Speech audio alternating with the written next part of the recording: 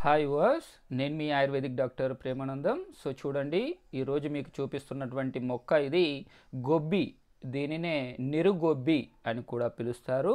అయితే ఈ మొక్క అనేది శక్తికి యుక్తికి సంతాన ప్రాప్తికి అద్భుతంగా పనిచేయడం జరుగుతుంది.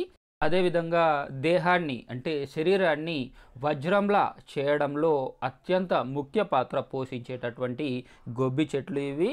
లక్షలు ఖర్చు పెట్టిన రానటువంటి ఫలితాలను ఈ మొక్క ఇట్టే రప్పించేలా అద్భుతంగా పనిచేస్తుంది.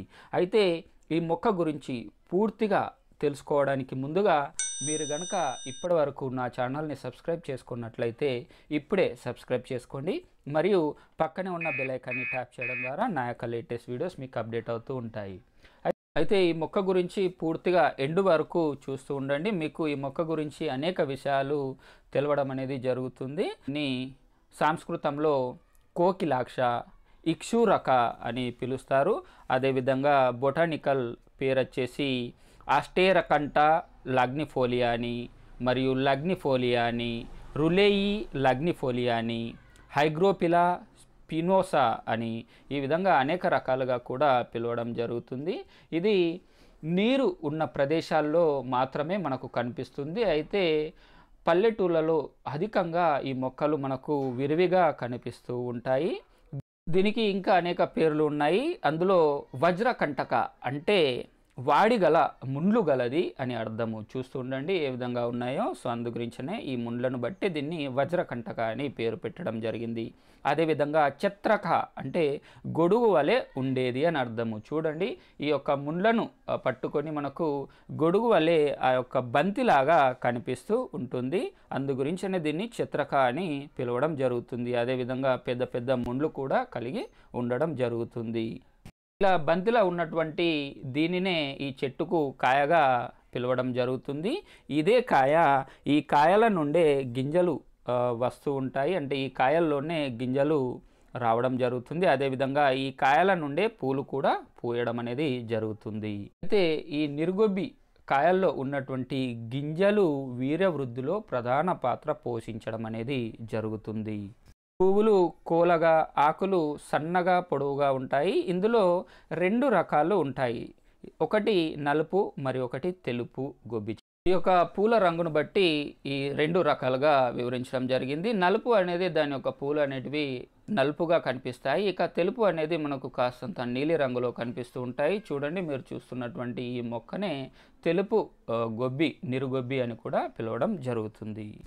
ఈ తెలుపు పూలు పూసేది అత్యంత అద్భుతంగా పనిచేసే మొక్కగా వర్ణించడం జరిగింది.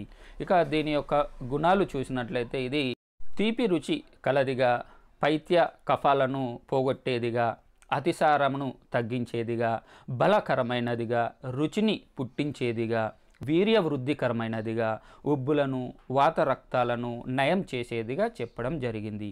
ఇక నేను ఇప్పుడు ఈ చెట్టు యొక్క ఒక్కో అంగము అంటే ఆకులు వేరు గింజలు ఏ ఏ రోగాలను నయం చేస్తాయి ఎలా ఉపయోగించాలి అనేది చెప్తాను.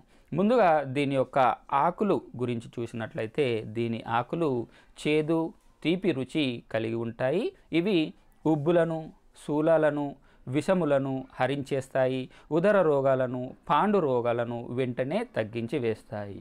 ఇక దీని గింజల గురించి చూసినట్లయితే దీని విత్తులు సీతావీర్యమైనవిగా ఉండి మధుర రసముగా కలిగి కొంచెం వగరు కూడా ఉండి ఇవి అమితమైన వీర్యవృద్ధిని కలుగచేస్తాయి. మరియు మోతాదు మించినట్లయితే అంటే ఏదైతే క్వాంటిటీ తీసుకోవాలో ఆ క్వాంటిటీ కంటే ఎక్కువగా కనుక ఈ యొక్క గింజలను లోపటి విత్తులను తీసుకున్నట్లయితే మలబద్ధక సమస్య కలిగించేదిగా చేస్తుంది.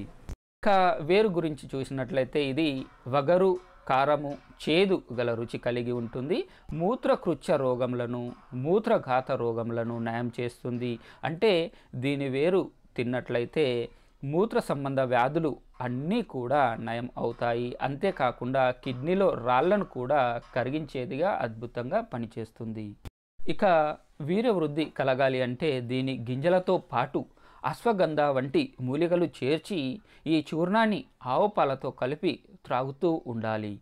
అదేవిధంగా కిడ్నీలో రాళ్ళు ఉన్నవారు ఈ చెట్టు యొక్క వేరుతో పాటు పల్లేరు చెట్టు వేరు ఆముదపు చెట్టు వేరు పాలతో నూరి త్రాగాల్సి ఉంటుంది. ఇలా వారం రోజులు చేస్తే ఎంతటి బండలైనా కరిగిపోతాయి. అదేవిధంగా ఈ మొక్కను కడుపు ఉబ్బులకు వాత రక్తానికి సుఖ ప్రసవనకు మరియు నిద్రలేమికి కూడా ఉపయోగించవచ్చు. అదేవిధంగా తెల్లబట్ట సంభోగ శక్తికి నడుము నొప్పికి వెన్ను నొప్పికి ఇలా ఇంకా అనేక రకాల రోగాలను నయం చేసేదిగా అద్భుతంగా పనిచేయడం జరుగుతుంది.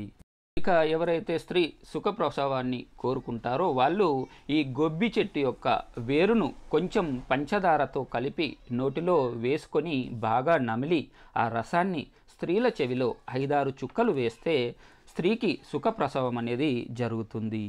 అదేవిధంగా వాత రక్తంతో శరీరమంతా నల్లని పొక్కులతో పుండ్లతో ఏర్పడినటువంటి ఈ వాత రక్త చర్మ రోగాలు కుష్టు పుండ్లు హరించిపోవడానికి ఈ యొక్క గొబ్బి ఆకులతో ఆకుకూరలాగా వండుకొని రోజు తింటూ ఉండాలి. అదేవిధంగా ఆకులను కడిగి దంచి తీసినటువంటి రసాన్ని పరిగడుపున ఒక మోతాదుగా సేవిస్తూ ఉన్నట్లయితే వాత రక్తము వాత రక్తం వలన కలిగేటటువంటి దుష్పరిణామాలు అంటే శరీరంలో కలిగినటువంటి కుష్టు రోగాలు పుండ్లు ఇవన్నీ కూడా తగ్గిపోవడం జరుగుతుంది. ఇక పురుషులకు వీర స్తంభనకు ఈ మొక్క అద్భుతంగా పనిచేస్తుంది. ఎవరికైతే వీరం అనేది త్వరగా పడిపోతూ ఉందో వాళ్ళు పుష్యమి నక్షత్రం రోజున పూజ చేసి ఈ తెల్ల గొబ్బి చెట్టు నుండి గింజలను తెచ్చుకొని ఆ గింజలను ఎర్రటి గుడ్డలో చిన్న మూటగా కట్టి ఆ మూటను ఎర్రటి దారంతో పురుషులు వాళ్ళ యొక్క నడుముకు కట్టుకొని ఆ తర్వాత సంభోగంలో పాల్గొంటే వీర్యం అనేది స్తంభించి పతనం కాకుండా ఉంటుంది. అంటే ఈ పుష్యమి నక్షత్రం రోజున తెచ్చుకున్నటువంటి గొబ్బి గింజలు ఈ ములతాడుగా కట్టుకుంటే అద్భుతంగా పనిచేయడం జరుగుతుంది. ఇక స్త్రీలలో చూసినట్లయితే ఋతు రక్తం అనేది అధికంగా పోతూ ఉన్నట్లయితే అది బహిష్టు అనేది కరెక్ట్గా కానట్లయితే నెలసరి అనేది సరిగా లేనట్లయితే వాళ్ళు ఈ గొబ్బి గింజలను దంచి నూరి పెట్టుకొని ఈ గొబ్బి గింజలను నూరుకున్నటువంటి దీన్ని రోజు ఉదయం పూట పరిగడుపున రెండు గ్రాముల మోతాదు వరకు ఈ యొక్క పొడిని ఒక కప్పు అంటే ఒక గ్లాసు నీళ్ళలో వేసి కలుపుకొని తాగుతూ ఉన్నట్లయితే ఈ ఋతు రక్తంలో అధిక రక్తం పోవడం అనేది ఆగిపోయి బహిష్టు అనేది అంటే నెలసరి అనేది క్రమంగా కావడం అనేది జరుగుతుంది. అదేవిధంగా ఎవరికైతే మగతనం అనేది తక్కువ ఉందో వారి యొక్క మగతనాన్ని పెంచడానికి కూడా ఈ నీరుగొబ్బి విత్తులు అద్భుతంగా పనిచేస్తాయి. ఈ నిరుగొబ్బి విత్తులతో పాటుగా ఏనుగు పల్లేరు కాయలు దూలగొండి విత్తులు నేలతాడి శతావరి బూరుగుబంక సో ఇట్లాంటివి అశ్వగంధ ఇట్లాంటి వాటిని కలిపి ఒక మోతాదుగా ఆవు పాలతో సేవిస్తూ ఉన్నట్లయితే అత్యంత అద్భుతంగా మగతనం అనేది రావడం జరుగుతుంది. ఇక పాండు రోగము అంటే దీన్నే రక్తహీనత అంటారు. ఇప్పుడు చాలామంది గ్రామాల్లో కానీ పట్టణాలలో కానీ అనేక మంది యువతులు యువకులు రక్తహీనతతో బాధపడుతూ ఉన్నారు. దీనివల్ల లివర్ రోగాలు ప్లీహ రోగాలు వచ్చి కొత్త కొత్త రోగాలు తెచ్చుకొని పట్టణాల చుట్టూ తిరుగుతూ తమ యొక్క కష్టాజీతాన్ని ఆసుపత్రులకు దారపోస్తూ ఉన్నారు. అయితే అలాంటి వారికి ఇది ఒక అద్భుతమైన మొక్కగా చెప్పవచ్చు. ఈ మొక్కను తీసుకున్నట్లయితే పాండు రోగము రక్తహీనత అనేది ఆ యొక్క రోగం అనేది తగ్గి లివర్ మరియు ప్లీహం అనేది బాగుపడి ఎన్నో వ్యాధులు రాకుండా కాపాడడం జరుగుతుంది. దానికి గాను ఈ నిరుగొబ్బి చెట్టును సమూలంగా అంటే వేర్లతో సహా పెకిలించి తెచ్చుకొని ఒక వంద గ్రాముల మోతాదుగా తీసుకొని దాన్ని ఒక నాలుగు వందల గ్రాముల నీటిలో వేసి నాలుగవ వంతు కషాయము మిగిలే వరకు మరిగించి వడపోసి ఆ కషాయాన్ని రోజు రెండు సార్లు అంటే ఉదయం ఒకసారి సాయంత్రం ఒకసారి త్రాగుతూ ఉన్నట్లయితే కేవలం రెండు మూడు వారాల్లోనే అతి ప్రమాదకరమైనటువంటి పాండు రోగము హరించిపోయి రక్త వృద్ధి కలగడం అనేది జరుగుతుంది. ఇలా ఈ యొక్క మొక్కను నిరుగొబ్బి మొక్కను అనేక రకాల వ్యాధులకు అనేక రకాల ప్రయోజనాలకు స్త్రీ మరియు పురుషులకు అద్భుతంగా పనిచేసేదిగా చెప్పవచ్చు. ఇక నేను మీకు ఈ వీడియోలో ముందుగా చెప్పినట్టుగా ఏ ఏ రోగానికి ఈ మొక్కను ఏ ఏ విధంగా ఉపయోగించవచ్చు అనేది నేను మళ్ళీ ఒక్కో వీడియోను చేస్తూ నా ఛానల్లో చూపిస్తూ ఉంటాను. అయితే మరిన్ని ఇట్లాంటి వీడియోస్ కోసం మీరు కనుక ఇప్పటి వరకు నా ఛానల్ని సబ్స్క్రైబ్ చేసుకున్నట్లయితే ఇప్పుడే సబ్స్క్రైబ్ చేసుకోండి. మరియు పక్కనే ఉన్న బెలైకాన్ని ట్యాప్ చేయడం ద్వారా నా యొక్క లేటెస్ట్ వీడియోస్ మీకు అప్డేట్ అవుతూ ఉంటాయి. సో మరిన్ని వీడియోస్ కోసం థ్యాంక్ యూ వర్స్